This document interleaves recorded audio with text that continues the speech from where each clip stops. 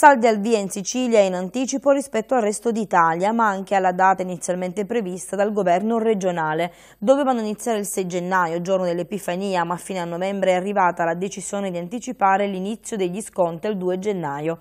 L'assessore regionale alle attività produttive Turano aveva consultato le associazioni dei commercianti e quelle dei consumatori e ottenuto il parere favorevole, aveva deciso di far partire in anticipo la data dei saldi invernali, decisione che era arrivata a ridosso della pubblicazione sui dati della povertà assoluta e relativa in Sicilia in netta crescita purtroppo. Con le famiglie sempre più in difficoltà anticipare saldi non basta ma aiuta, questa è la considerazione dell'esponente del governo regionale. Le date previste per la stagione delle vendite scontate in Sicilia andavano dal 6 gennaio 2019 al 15 marzo, eppure nonostante l'anticipo di quattro giorni le previsioni non sono buone. Si stima una flessione del 7% rispetto allo scorso anno, con una spesa media per famiglia di 157 euro. Ad incidere sul dato non è solo una questione economica, in passato le famiglie attendevano la stagione dei saldi per effettuare gran parte dei loro acquisti, ma da alcuni anni ci sono altre opportunità di risparmio, su tutte il Black Friday che già a novembre consente di effettuare le prime spese,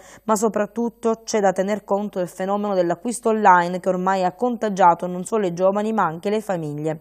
Un fenomeno che sta dando il colpo di grazia ai commercianti e che anche nella città di Sciacca, come ha denunciato recentemente Giuseppe Caruano della Confcommercio, ha contribuito alla chiusura di diverse attività. Si acquista online durante le vendite promozionali, il Black Friday, così si arriva al tradizionale periodo dei saldi con minor voglia di far compere e minore disponibilità economiche. Non per tutti, chiaramente, fortunatamente, c'è chi non sa proprio resistere e si lascia tentare dalle scritte che già da oggi propongono sconti del 20-30 e anche 50%. Per il 70% occorrerà pazientare ancora.